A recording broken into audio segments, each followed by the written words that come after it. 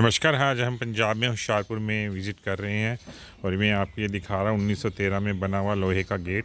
आप देख सकते हैं उस वक्त की कला कितनी माहिर थी। आज हम मशीनी दौर में आ गए हैं, लेकिन उसकी, उस टाइम की स्टीकनेस आप देख सकते हैं कितनी बारीकी और निपुणता से ये गेट बनाया गया है। और इसकी फ़ोटोएँ मैं आज आपके लिए लगा रहा हूँ और आप देखें, पुराने टाइम में सारे कारीगर ही हुआ करते थे।